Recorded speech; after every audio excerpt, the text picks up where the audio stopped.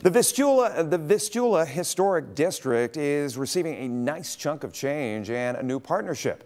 In fact, Mercy Health announcing $290,000 would be going toward the foundation's Friendly Center through Mercy's Community Health Fund Award.